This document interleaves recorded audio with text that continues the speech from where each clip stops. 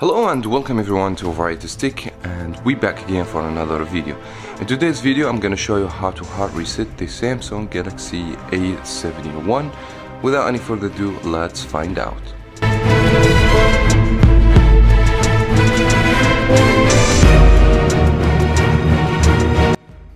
Now before we begin I'm gonna pay your attention about two important things. First, you will lose all the data on the phone like pictures, messages, contacts and also after you finish the hard reset if you have a Gmail account already synced on the phone you will need to re-sign in with the same Gmail account to avoid the Google bypass.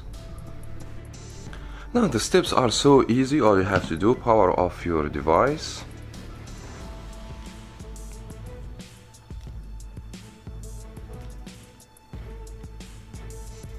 Now the phone is off right now, so what do you need? You need to use the power key and the volume up key. You need to press these two at the same time. When you see the Samsung logo, you have to release your finger from the power and keep hold on the uh, volume up. There we go.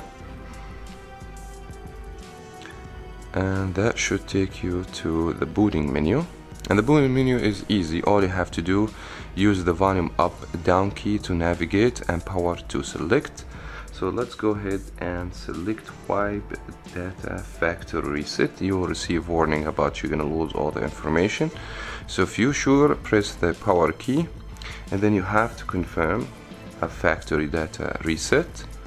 So let's go ahead and do it.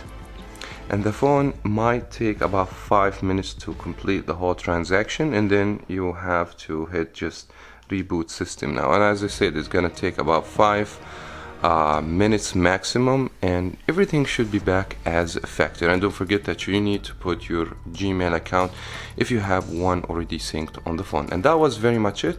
I wish you guys find this video helpful. If it did thumbs up and you can subscribe for more videos here on Varieties Teck. And I'll see you in the next video.